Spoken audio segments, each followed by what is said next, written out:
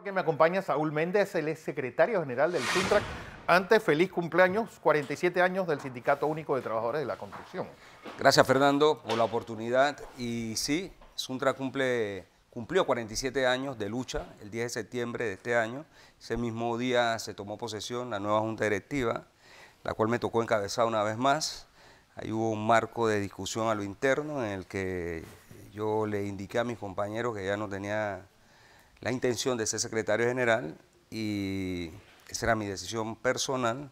Y en las estructuras de discusión, tanto en la Consejo Nacional Sindical, la Junta Directiva que estaba en su momento y las bases, eh, plantearon la necesidad de que yo asumiera un periodo más y así pues sometí mi voluntad individual a la colectiva.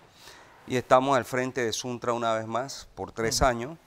Eh, y son 47 años de muchos logros, ¿no? Los Suntra ha logrado dignificar eh, el puesto de trabajo del obrero, la vida del obrero, no solo en materia de lo que hoy gana como salario, un albañil reforzador o carpintero está ganando 5.20 la hora, eh, en las obras de construcción, un ayudante está ganando 3.96 la hora en las obras de construcción, y obviamente eso es importante. En que hace 10 años era la mitad. Prácticamente, hace 10 años era la mitad, y así otro otros derechos fundamentales que se han logrado, como lo son, por ejemplo, el tema de salud y seguridad en el trabajo. Fíjate que la lucha de Suntra no solo reivindicó la necesidad de que los trabajadores tuviesen eh, mayor seguridad, sino que esa lucha permitió que nuestro país, nuestras universidades públicas y, privadas, implementaran dentro de sus programas de formación para formar ingenieros, licenciados y técnicos en materia de salud y seguridad en el trabajo. Hay muchos de ellos empleados en la construcción, pero también se han desplegado hacia otras empresas, otras industrias, donde los empresarios han empezado a entender que este es un elemento fundamental para preservar la vida, la salud y la integridad física de los trabajadores. Un sector construcción que pues parece que pierde fuelle. Yo creo que es el mayor indicador del estado de la economía en general. Yo creo que nadie pues demuestra la fortaleza o la debilidad de la economía panameña como es el sector construcción. Aporta al Producto Interno Bruto, uno de los sectores más importantes. Es un sector que en los últimos 10 años ha crecido, no cabe duda.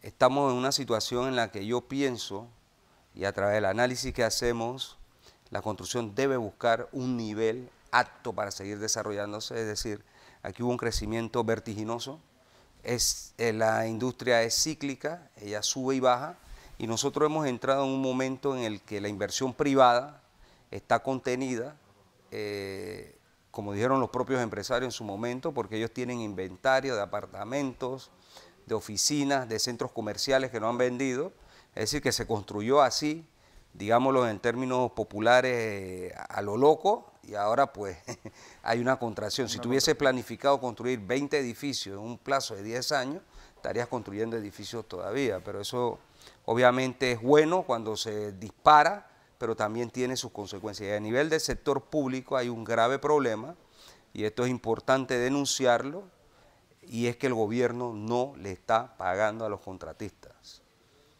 Tanto el gobierno pasado, del señor este. Varela, como el del señor Cortizo, que ya está cerca de los 100 días, no le están pagando a los contratistas.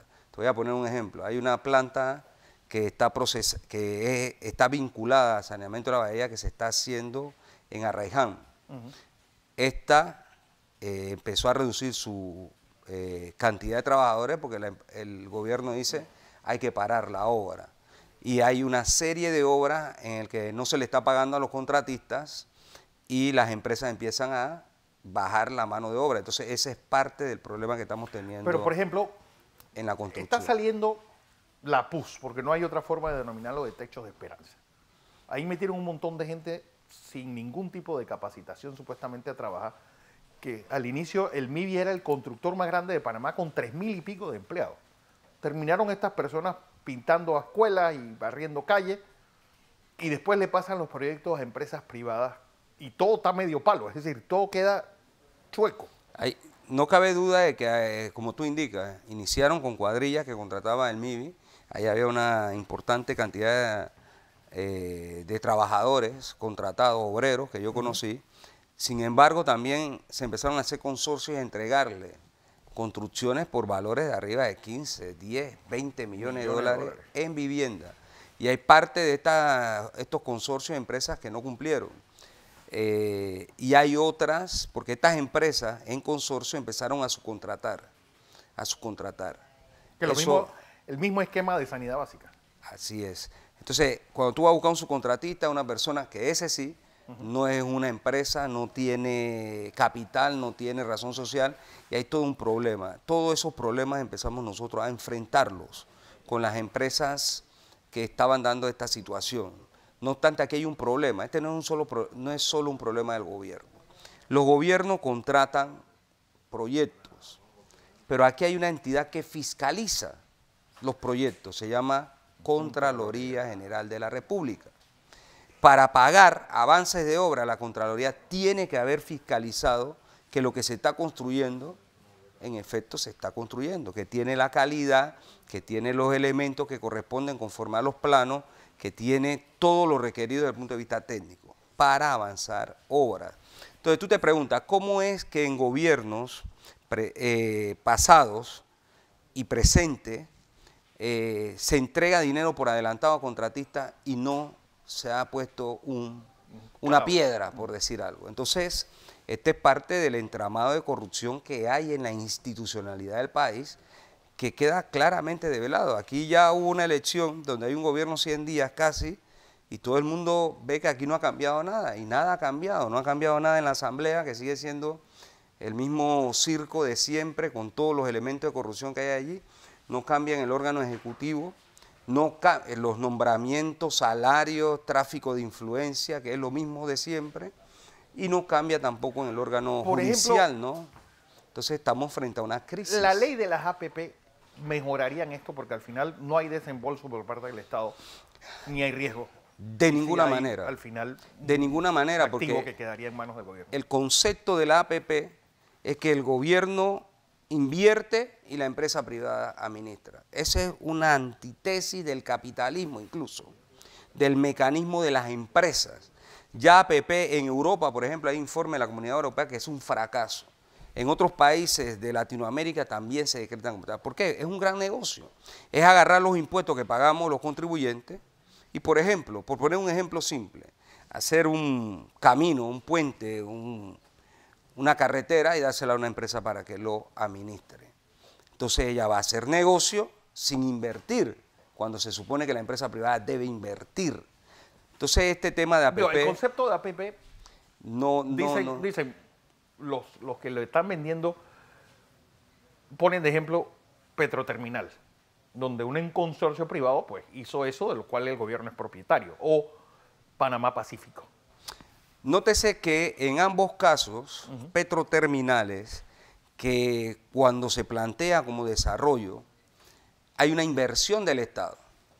¿sí? Ahora, ¿Petroterminales es público? Bueno. No lo es, porque te pongo otro ejemplo que la gente conoce mejor. Aquí los activos de las empresas eléctricas de telecomunicación ¿sí? se privatizaron un pedazo. ¿Bajaron los precios? No. ¿Mejoró el ingreso para el Estado de estas actividades? Y el servicio. Y el servicio es pésimo. Entonces, cuando tú trasladas el resto de las actividades, ¿por qué? Porque esto también, la pretensión inicial era eh, hacerlo para escuelas, en educación, en salud, en agua potable. Cuando empieza la presión, entonces, bueno, vamos a, a sacar estas partes. O sea, es decir, este concepto no va a funcionar para resolver las necesidades fundamentales del pueblo. Va a funcionar para que un pequeño grupo de élite siga acumulando ahora de los propios impuestos que paga la población, porque este es un país al revés. Los profesionales y los trabajadores pagan impuestos, los grandes gamonales pagan casi nada impuestos y lo que les toca lo evaden. Y entonces ahora tú agarras los impuestos de los que pagan y se los entrega a ellos para que sigan haciendo más fortuna. O sea, esta es una situación realmente lamentable. Por ejemplo, ha sido realmente frío las diferentes consultas que se han hecho con respecto a las reformas constitucionales. Ustedes piden una constituyente paralela, la Asamblea dice, nosotros vamos a presentar este paquete pues, y lo más probable es que en octubre ya presenten la primera, vaya a votación por primera vez. Mira, podríamos hacer una encuesta. Yo podría asegurar que el 99.9% de los panameños no conocen esta reforma. No. ¿Cuál fue la, trama? La trama fue que el señor Cortizo le envía a eh, esos que llaman la concertación nacional un paquete de reformas, ahí empieza una discusión, se habla que hay una representación de la sociedad panameña, pero al final se aprueba, algunas observaciones hay, y eso es lo que en teoría se está consultando. Pues te, doy un ejemplo. Solo este fin de semana estuve reunido con los compañeros nuestros del área de Azuero. El profesor Vega hizo un planteamiento que es el que está haciendo eso y la fuerza del movimiento popular con relación a este tema. Nosotros hemos planteado la necesidad de una constituyente originaria autoconvocada que adecente el Estado y lo funde nuevamente. No se quiere más parche, este país no aguanta más parche y esto va a ser un parche más. Pero además ya se ha pronunciado el gobierno del señor Cortizo en función de que si el referéndum no aprueba, ellos van por el mecanismo de dos asambleas. Entonces esto es una burla. El soberano dice que no y la politiquería criolla dice que sí. Y, no, podemos ver cómo funciona. Al nombrar, por ejemplo, o a elegir al presidente de la Asamblea, todos estuvieron de acuerdo. Todos, ya sea gobierno, oposición o los llamados independientes. Es decir, es mantener el status quo de las cosas. Entonces estas eh, supuesta consulta que se están haciendo no es para llegarle a la población. Ese es el mecanismo que ya se ha utilizado. Lo que la élite quiere se impone a través de los mecanismos estos, pero los problemas reales siguen. Yo quisiera que en la nueva constitución hubiese algo como lo que propusimos en medio de la campaña electoral. Que los funcionarios públicos ganaran su puesto por meritocracia y concurso de oposición.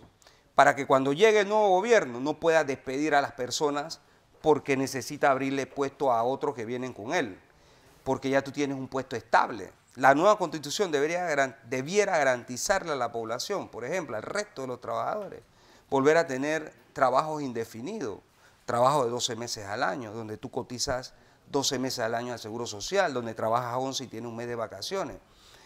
La nueva constitución debiera garantizar que los corruptos vayan presos, expropiar claramente todo lo robado. La nueva constitución debiera garantizar que el pueblo tuviera capacidad de revocarle el mandato a las autoridades que a medio periodo, es necesario.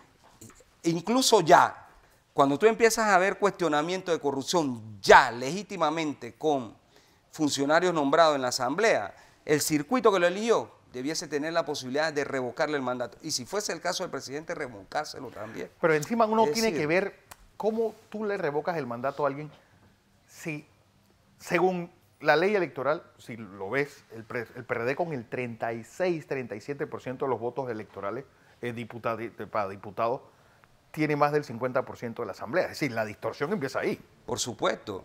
Pero debes recordar que si jugamos con la regla de juego que, tenemos actuales, claro, claro. esas no son iguales a las que estamos planteando, porque cuando tú adecuas el nuevo Estado a la nueva regla, toda esa maquinaria político-electoral de corrupción, de compra, de mangoneo, es decir, de robarse las actas, de mal contarlas. Aprovecho para decirte, nosotros hemos denunciado... Ustedes presentaron la, denuncia que presentaron al tribunal, ¿cómo está? A, la Fiscalía Electoral, ahí se abrió una investigación.